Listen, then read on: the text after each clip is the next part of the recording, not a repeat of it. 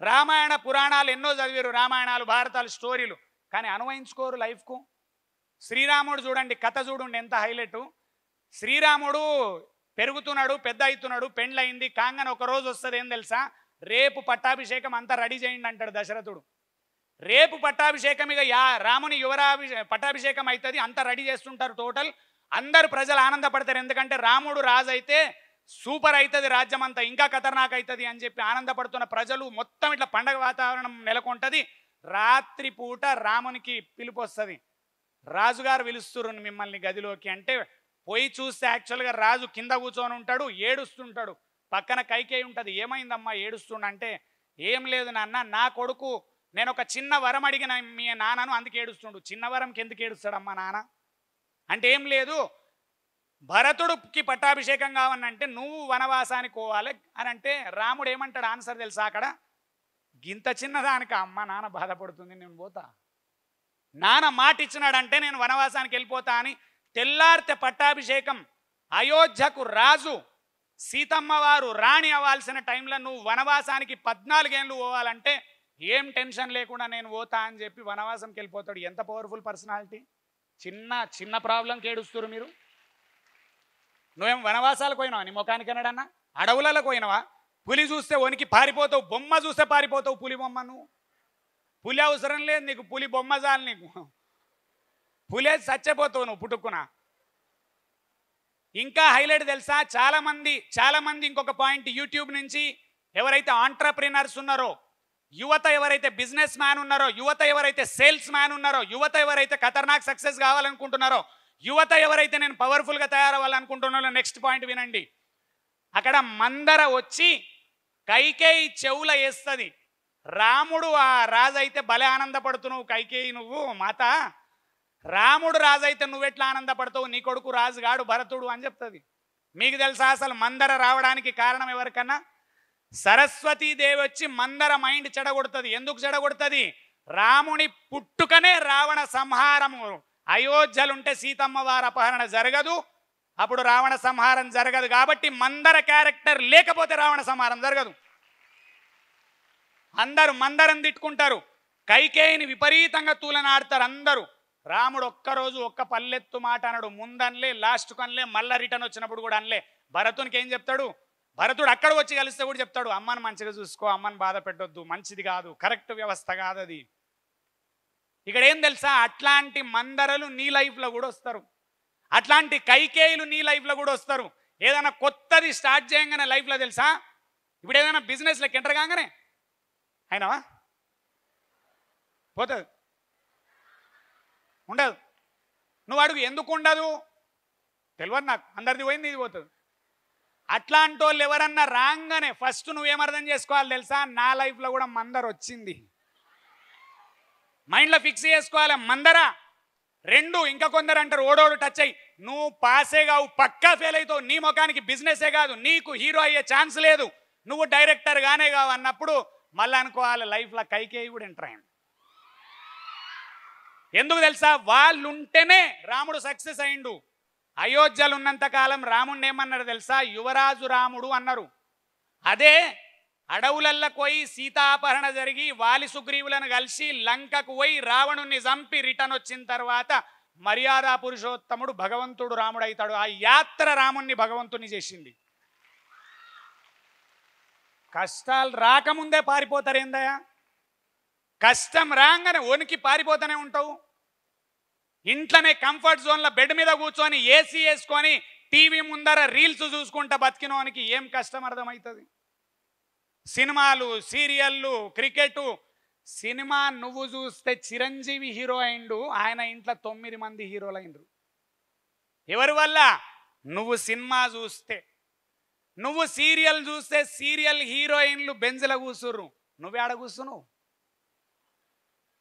వరండాల కూర్చొని ఊపుకుంటున్నావు ఎండాకాలం ఇట్లా ఒక పర్సన్ సక్సెస్ అయిండు ఒక పర్సన్ రిచ్ అయిండు. ఆ పర్సన్ రిచ్ కావడానికి కారణం ఏంది తెలుసా? మిడిల్ క్లాస్ అని ఒక్క రూపాయి ఆయన దగ్గరికి పోయినప్పుడే వాడు రిచ్ అవుతాడు. మన జేబుల నుంచి ఒక రూపాయి వాళ్ళ దగ్గరికి పోతుంది. నువ్వు సీరియల్ చూసినావు ఒక రూపాయి సీరియల్ హీరోయిన్కు జబర్దస్త్ చూసినావు చూడొద్దనిలే మంచియే. కానీ కంటిన్యూస్గా ఏది పిచ్చి ఏది మంచిదిగా సార్ చెప్పిండు అలవాట్లు. కొందరు కొందరు ఆరింటికి సీరియల్ స్టార్ట్ అయితే ఇంట్లో పదిన్నర దాకా సీరియల్లే మరి అన్ని సీరియళ్ళు చూసిన నువ్వు సీరియల్ హీరోయిన్ లాగానే నటిస్తావు రోజు. మొగడు కొట్టక ముందే ఏడుచుడు ఓ నేను పోతా పుట్టింటి పోతా ఇక. వాడు అనుకుంటాడు నేను కొట్టనే కొట్టలే ఎట్లా ఏడుస్తుంది? Serial effect. అది మొత్తం సీరియల్ ఎఫెక్ట్లు అన్నీ. మీకు రిక్వెస్ట్ చేసేది ఏంది తెలుసా? మళ్ళీ ఫస్ట్ జాబ్ ఎక్కండి మైండ్లో ఒకటి ఫిక్స్ చేసుకోండి. నా వంశంలో అందరు చేయండి నేనేం చేయాలి ఎక్స్ట్రా? చిన్నది చిన్నది. మీకే నేను ఛాలెంజ్ ఇస్తున్నా అందరికీ కూర్చున్న వాళ్ళకు అందరు ఇరవై ఆరు ముప్పై ఏండ్లకు కారు కొంటారు అందరూ. నేను ఇరవై ఐదుకే కొంటా. అందరు ఇరవై ఐదు కొంటారు నేను ఇరవైకే కొంటా. అందరు ఎవరు ఇన్వెస్ట్మెంట్ గురించిన క్లారిటీ లేదు ప్రపంచం మొత్తంలో. నేను ఇన్వెస్ట్మెంట్ గురించిన క్లారిటీ తెచ్చుకుంటా. యూట్యూబ్ మిత్రులకు చెప్తున్నా స్టూడెంట్స్కి ఇది అర్థం కాదు. యూట్యూబ్ మిత్రులకు చెప్పేది ఏం తెలుసా? Most powerful weapon investment investment investment investment investment investment ఆ తెలియదు ఎవరికి తెలుసా? మిడిల్ క్లాస్లో పర్టికులర్లీ ఇన్వెస్ట్మెంట్ తెలియదు నలభై యాభైకి వచ్చేసరికి ఇక అయిపోయింది ఏజ్ అనుకుంటారు. ఎక్కడ అయిపోయింది ఏజ్? తెలంగాణలోనైతే ఓపెన్గా చెప్తున్నా ఇక్కడ గురించి నన్ను నంబర్స్ నాకు తెలివై తెలంగాణల ల్యాండ్ రేట్లు ఎంత పెరిగినాయి లాస్ట్ ఇరవై సంవత్సరాలంటే ఒకరు ఊహించలేనంత పెరిగినాయి. కానీ ఇవాళ బాధపడ్డోడు గ్రేట్ కాదు. ఇది ఇట్లా పెరుగుతుందని ఎక్స్పెక్ట్ చేసి ఇరవై ఏళ్ళ కింద ఇన్వెస్ట్ చేసినోడు హీరో ఇవాళ. కింగు! శోభన్ బాబు ప్రతి పర్సన్కు చెప్పిండట ఈ సినిమా ఇండస్ట్రీలో ప్రతి ఒక్కరు కలిసిన వాళ్ళకి శోభన్ బాబు ఏం చెప్పేది తెలుసా? పైసలు ఉన్నాయా? అన్నయ్య ల్యాండ్ మీద పెట్టు. పైసలు ఉన్నాయా? ల్యాండ్ మీద పెట్టు. పైసలు ఉన్నాయా? ల్యాండ్ మీద పెట్టుకో. కొంచెం ల్యాండ్ కొనుక్కో. ఎక్కడ? లక్ష రెండు లక్షలే ఉన్నాయంటే కూడా మూలకు చూపించేదట. ఇది కొనుక్కో. ఎంతమంది హీరోయిన్ల ఇంటర్వ్యూలు విన్న అప్పటి హీరోయిన్లు ఏం చెప్పారు? ప్రతి ఒక్కరు చెప్తారు శోభన్ బాబుకు నాకు కూడా సలహా ఇచ్చిండు కొనుమని. కానీ నేను కొనలేదు. అది వాళ్ళ కోట్ల రూపాయలు అయింది చెప్పేటోడు పక్క నుండి చెప్తే కూడా కొనవాను. ఇప్పుడు అందుకే ఇది ఇది స్టూడెంట్స్కి అర్థం కావు ఇవి.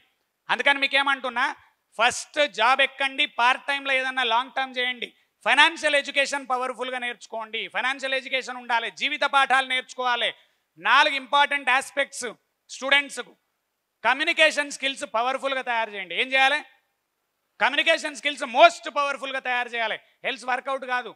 కమ్యూనికేషన్ స్కిల్స్లలో ఇష్యూ ఉండడం బట్టే వైఫ్తో కొట్లాటలకు కారణం కమ్యూనికేషన్ స్కిల్స్ ప్రాబ్లం అమ్మ నాన్నలతోని కరెక్ట్గా డీల్ చేయరాకపోవడం కమ్యూనికేషన్ ప్రాబ్లం అత్తమామలతోని మాట్లాడడం కరెక్ట్గా డీల్ చేయరాకపోవడం కమ్యూనికేషన్ ప్రాబ్లం సబార్డినేట్తో డీల్ చేయరాకపోవడం కమ్యూనికేషన్ ప్రాబ్లం ఈవెన్ పెద్ద పెద్దోళ్ళు ఎవరన్నా ఉన్నారు వాళ్ళతో డీల్ చేయడం రాకపోవడం కమ్యూనికేషన్ ఇష్యూ దాని మీద ఫోకస్ బాగా పెట్టాలి మీరు యాక్చువల్గా చదువు మీద పెట్టే ఫోకస్ కమ్యూనికేషన్ స్కిల్స్ రెండోది లీడర్షిప్ స్కిల్స్ మీద పెట్టుకోండి. లాస్ట్ టూ పాయింట్స్ ఇంపార్టెంట్ మీ అందరికీ ఏంది తెలుసా? ఇది యువతకు అందరికీ ఓవరాల్ సొసైటీకి చెప్తున్నా. టూ పాయింట్స్ కష్టపడ్డరు జాబ్ ఎక్కిండ్రు పెళ్ళి చేసుకున్నారు పిల్లలైంది ఓ కారు ఇల్లు అక్కడికి అయిపోయింది. నా క్వశ్చన్ జీవితానికి నీ జీవితానికి సరిపడే పరమార్థం అర్థం ఏముంది గోల్ ఏముంది ఒకటే యాంగిల్లో డెవలప్ అయినోడు డెవలప్మెంట్ అయినట్ట. సింగిల్ జాబ్లో డెవలప్ అయినవు. ఒక పర్సన్ ఏమన్నాడు తెలుసా? ట్వంటీ ఫైవ్ ఇయర్స్కి youngest CEO గమతే twenty five years youngest CEO in the world గమ్మతేంది తెలుసా? వైఫ్తోని కొట్లాటలు ఉన్నాయి ఇంట్లో. అది డెవలప్మెంట్ అంటారా? ఇంట్లో ప్రశాంతత లేదు. ఎందుకు తెలుసా? నువ్వు అక్కడెంత ప్రశాంతతనో అక్కడెంత సక్సెస్ ఇంట్లో లొల్లులు ఉన్నాయి. నువ్వు సక్సెస్ ఎట్లయితావు? రెండో point twenty five years youngest CEO thirty years youngest CEO వైఫ్తోని బాగానే ఉన్నాడు. పిల్లలు చెడిపోయినారు టోటల్గా చేతికే రావకుండా తయారైనారు వాళ్ళు. వందల కోట్ల ఆస్తి. లేకపోతే పదుల కోట్ల ఆస్తి. ఒక కారు ఇల్లు. కానీ పిల్లలు కరెక్ట్గా కనుక నీ ముందర కళ్ళ ముందర డెవలప్ కాకుండా ఉంటే మళ్ళీ బాధపడాల్సి వస్తుంది మనకు. అది డెవలప్మెంట్ అంటారా? మూడో పాయింట్. Youngest CEO. వైఫ్ బాగుంది. పిల్లలు బాగున్నారు. హెల్త్ చెడిపోయింది. దాని డెవలప్మెంట్ అంటారా? హెల్త్ మీద శ్రద్ధనే లేదు ఎవరికి. అయ్యా ఎంతోమంది చెప్తారు health is wealth health is wealth health is wealth మందికి చెప్పడం కాదు కదా. గంటసేపు రీల్స్ చూసిన వాళ్ళు గంటసేపు ఎక్సర్సైజ్కు ఒక ఒక ఆయన చెప్పిండు బాడీ ఏమంటుందో తెలుసా? గంటసేపు నన్ను చూసుకో ఇరవై మూడు గంటలు నేను నిన్ను చూసుకుంటా అంటదట బాడీ గంటసేపు నన్ను చూసుకో మిగిలిన ఇరవై మూడు గంటలు నేను చూస్తా. అంటే అందరికీ ఏమర్థమైంది చదువు జాబు గంతే అదే రూట్లో ఉరికితే సక్సెస్ అయిపోయారు అనుకుంటున్నారు. వేరే యాంగిలే లేదు ఇక లైఫ్లో ఫోర్త్ పాయింట్ స్పిరిచువాలిటీ లేనే లేదు. ఫిఫ్త్ పాయింట్ ఫైనాన్షియల్ ఎడ్యుకేషన్ లేనే లేదు. సిక్స్త్ పాయింట్ ఫైనల్గా తెలుసా? సోషల్ సర్వీస్ అనే యాంగిలే లేదు ఎవరికి. ఇప్పుడు ఇంత పెద్ద ప్రోగ్రాం జరగడానికి కారణం ఎవరు తెలుసా? ఇక్కడ ఉన్న దాతలందరూ దివాకర్ గారు డాలర్స్ దివాకర్ వాళ్ళకు ఒకసారి గట్టిగా చప్పట్లు కొట్టాలి. ఆయన ఏమనుకున్నారు అట్లాంటి సంస్థలు ఏమనుకుంటున్నాయి మనం బాగుపడడం కాదు. మనలాంటి బాగుపడడానికి కావలసిన మైండ్ సెట్ కల్పించాలంటే ఇంపాక్ట్ లాంటి ఫౌండేషన్ తోని కంబైన్ అయి ఒక మంచి ప్రోగ్రాం తిరుపతి వాళ్ళకి ఇప్పిస్తే ఓన్లీ తిరుపతి బాగుపడతలేదు. యూట్యూబ్ వల్ల లక్షల మంది బాగుపడుతున్నారు యాక్చువల్గా. అది చాలా అందమైన విషయం ఈ మధ్యకాలంలో అయితే. ఎన్ డెవలప్ అయిన చాలా మంది యూట్యూబ్ ద్వారా వీడియోలు చూసి తెలుగు రాష్ట్రాలలోకి అలవాటు ఉందేం తెలుసా? బాగుపడాలనగానే మొట్టమొదట చూసే ప్లాట్ఫామ్ ఇంపాక్ట్. మొట్టమొదటి ప్లాట్ఫామ్ ఇంపాక్ట్కి వచ్చేస్తారు ఫస్ట్ ఫస్టే. అంత పవర్ఫుల్ ప్లాట్ఫామ్. మరి సోషల్ సర్వీస్ మీద జాసని లేదా ఎవరికన్నా? ఫైనల్ నా క్వశ్చన్ ఏం తెలుసా? పెన్షన్ లేదు సోషల్ సర్వీస్ అలవాటు లేదు ఇన్వెస్ట్మెంట్లు తెలివై జీవితానికి అర్థం పరమార్థం లేదు గొప్పగా ఏం చేయలేదు అయినా నువ్వు గ్రేట్ అని ఎందుకు ఫీల్ అవుతున్నావు అనేది ఇక పెద్ద క్వశ్చన్ మార్క్. అండ్ మళ్ళా చెప్తున్నా ఈ ఏజ్లో మీకు అర్థం కాదు బట్ డెఫినెట్లీ అర్థమైన రోజు పైకి వస్తే కాదు. కొందరు స్టూడెంట్స్ రీసెంట్గా ఒక పిల్లాడు కలిసిండ నాకు మీ అందరికి చెప్తున్నా. ట్వంటీ వన్ ఇయర్స్ ఆయన ఏజ్ బయట కలిసిండు నాకు. నేనేం అడిగినా తెలుసా? ఏం నువ్వు ఇక్కడ వచ్చి నువ్వు బిజినెస్లోకి వచ్చిండు బయట తిరుగుతుండే ఎక్కడో? నేను ట్వంటీ వన్ ఇయర్స్ నువ్వు బిజినెస్లోకి ఎందుకు వచ్చినావు పోయి అంటే ఏమన్నాడు? సార్ నేను రిచ్ డాడ్ పూర్ డాడ్ అనే బుక్ మూడు సార్లు చదివినా నాకు ఫైనాన్షియల్ ఎడ్యుకేషన్ అర్థమైంది సార్ ఇదంతా వేస్ట్ నాకు అర్థమైంది నేను చేస్తా సార్ అన్నాడు. ఏం చేసినావు మరి ట్వంటీ వన్ ఇయర్స్లా అన్న. అంటే ఏం చెప్పిండు? వచ్చిన మనీ వచ్చినట్టు ఇన్వెస్ట్ చేసిన సార్. ఎక్కడెక్కడ ఇన్వెస్ట్ చేసినావన్నా ల్యాండ్స్లలో ఇన్వెస్ట్ చేసిండు గోల్డ్లో ఇన్వెస్ట్ చేసిండు షేర్లలో ఇన్వెస్ట్ చేసిండు. ఇరవై ఏళ్ళ తర్వాత రిటైర్ కావచ్చు ఆ పర్సన్. మీకు ఎవరికన్నా విన్నరా ఒక statement? Retire young and retire rich. Retire young and retire rich.